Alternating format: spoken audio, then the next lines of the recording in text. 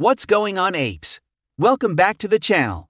We appreciate you joining us today and your support. I am here to provide an extensive AMC update. According to a recent Bloomberg study, $250 billion has been stolen from regular investors. Make certain to remain around. Click the thumbs up button and subscribe to the channel before I continue. Bank of New York Mellon Corporation is a fascinating company. If they lent all of their AMC shares, they might make approximately $6,385 each day. Not a substantial amount for one of the world's largest banks. They maintain their position primarily due to its future possibilities. Large institutions continue to increase their AMC holdings, despite the fact that a minority of hedge funds continue to engage in predatory shorting in the intention of driving the company into bankruptcy. The Bank of New York Mellon, one of the most renowned financial organizations in the United States, holds an astounding number of AMC shares, according to the 13 most recent filings. And while they could make a few thousand dollars each day by lending out these shares, it is more likely that they are positive on the company, feel it will rise, and wish to profit from the mother of all short squeezes. At this time, it is evident that hedge funds betting against AMC are on the wrong side of history.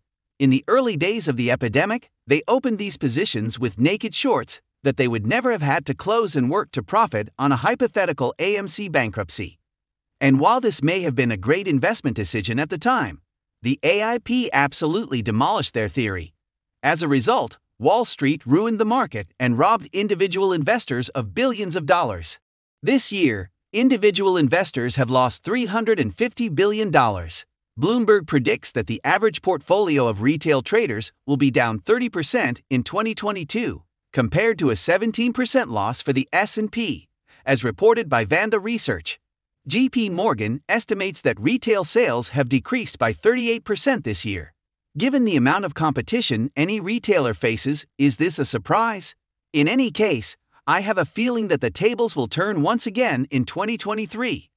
According to data provided by Vanda Research, a firm that examines self-directed retail traders globally, the average portfolio of amateur investors would decline by almost 30% in 2022. The S&P 500 index in comparison has lost 17% individual investors have had a disproportionate impact on the market since the beginning of pandemic lockdowns, when bored 20 and 30 year olds flocked to no cost trading to ease boredom and earn a quick buck by purchasing virtually any stock during a bull market bubble. Now, as equities approach their worst year since the 2008 financial crisis, retail traders are seeing even steeper declines and their share of U.S. equity market volume has decreased since the beginning of 2021. According to Giacomo Pierantoni, the head of data at Vanda in Singapore, this year's losses were exceptional, particularly for the younger generation of investors.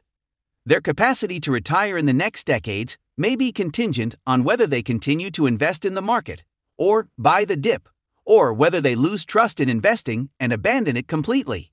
Given the cyclical nature of the markets and the fact that we are correct, this appears to be the optimal time to purchase the dip. BAM investors use Twitter. Yesterday's responses from AMC apes led me to misjudge their determination. This time around, however, the retail investing community has learned the inner workings of the market and is not only compelled to change it to make it more equitable, but also continues to accumulate the dip by beating Wall Street at its own game and adopting the Warren Buffett method of investing, in which you buy stocks you like and hold them until you no longer like them.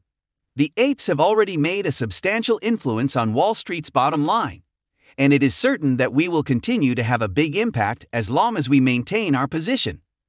This is one of the numerous reasons why fear, uncertainty, and doubt continue to proliferate across the culture.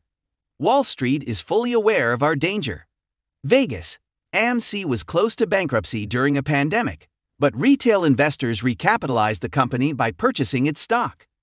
Now, AMC is utilizing this capital to flourish in the upcoming months and years, a textbook example of capitalism. So long as we maintain the status quo, hedge funds will continue to decline. The conclusion of this video.